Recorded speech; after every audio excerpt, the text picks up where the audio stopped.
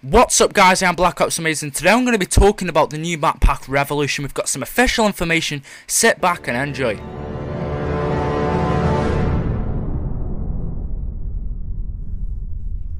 So all of the information I'm now about to tell you is official. Amazon UK have revealed details on DLC Revolution, which includes the multiplayer maps and zombies map and the new gun. So all of this information, what I'm now about to tell you, will be official. Now remember all of the information you've heard about this Rise map before, and maybe all of the information you've heard about the multiplayer maps and the gun. Just forget all about that, you know, just forget that the location of the Rise map is in Germany.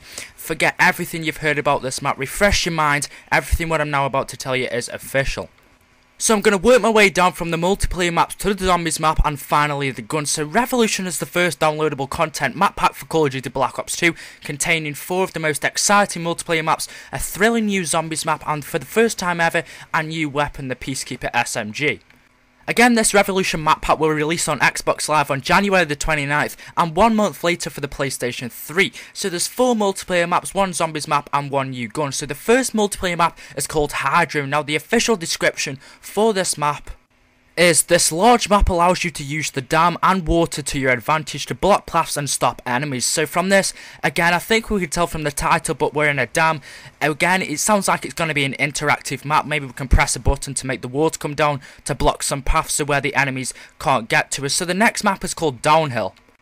So the description for this map is a medium-sized map based on the French Alps, complete with snow, chairlifts and a placed lodge. So Downhill is going to be the first snowy map that we get within Black Ops 2 multiplayer, which should be awesome because we haven't got any so far. I'd like to see how it works. So it says we've got a chairlift, so maybe we can work them and go up to the top of the hill and then come back down. It should be super awesome. We know that Treyarch like to be interactive with their maps. So the third map is called Grind, and again it's set within the locale of Venice, California Boardwalk. It's a small skate park map which sure to deliver some fast and Venturi Call of Duty action. So again this is going to be a small map. I love small maps within Call of Duty, like to see how this map's going to work out. It's a skate park, so again it sounds really really fun. Now the fourth and final multiplayer map that we're getting within this new map pack is called Mirage. And finally, the official description for this map is the Gobi Desert multiplayer map utilises sand dunes to provide different levels of elevation and a sanctuary in the centre as a natural choke point. Okay, so that's it for the official information on the four new multiplayer maps. Now I'm going to talk about the zombies map. So this is the official description. Yes, the map is still called Die Rise. That's the official name for it. So the zombies apocalypse has invaded China, turning downtown into a dilapidated and dangerous MC Escher's painting. Okay, so there's a couple of things I want to talk about here. First off, the location. The new location and the official location is China. If you remember before, we had some leaked information, we had leaked gameplay. Apparently, all of this is fake, and it is fake. You know, this one guy's been coming up with all this thing. And that's what us zombie fans like to do, you know. We like to believe that we're having things, you know. It sounded kind of fun having Di uh, Riese back, you know. All sounded really, really awesome. But again, it was too good to be true. So we'll be going to China. Sounds really interesting. Don't really know how the map's going to play out now.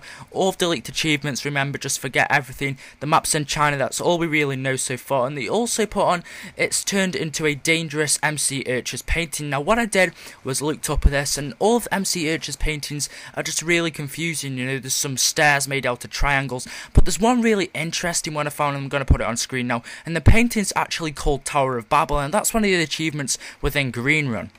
And that's all of the description for that map. Again, hopefully we'll be getting the trailer next week because the map pack is coming out very soon. So finally, we've got the Peacekeeper SMG and the description for this is this impressive submachine gun. Yes, it's a submachine gun. Some people for some reason were saying it looks like an assault rifle when clearly it says SMG in the title. So this impressive submachine gun fills the open weapon slot in your loadout with power and accuracy.